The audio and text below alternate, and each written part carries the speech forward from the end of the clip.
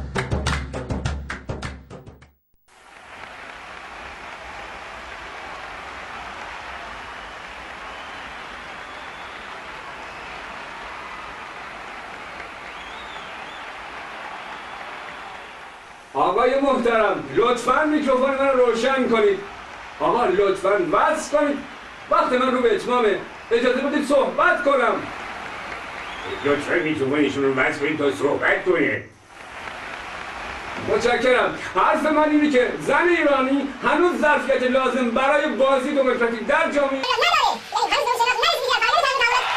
مکانیزم سیستم های سیاسی خودش رو آقا برعکس استبداد انتخاب آگاهانه و هوشمندانه انسان ایرانی بوده و بیشترین خواستگاه این استبداد از سوی مردان بوده.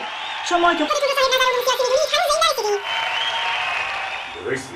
نظریه ژئواستراتژیک و ژئوپلیتیک ایران مدعی که استبداد انتخاب آگاهانه کنشگر آگاه ایرانی. ما دو عقده حقارت و خود بزرگبینی داریم. در انسان ایرانی این دو با همه. انسان ایرانی با قدرت که روبرو میشه به شدت در اون عقده حقارت افزایش پیدا می‌کنه. و وقتی با کسی که زیر دستشه برخورد می‌کنه به شدت عقده خود بزرگبینی بروز پیدا می‌کنه. از این رو من ایرانی عامل مهمترین سازمان شکنی، وحدت شکنی و اندیشه شکنی تاریخ ایرانه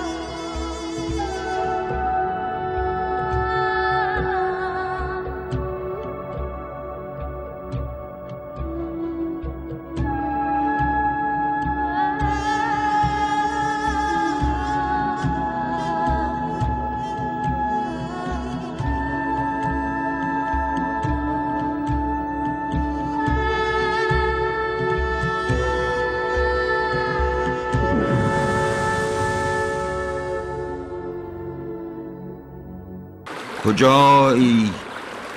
بشنو بشنو.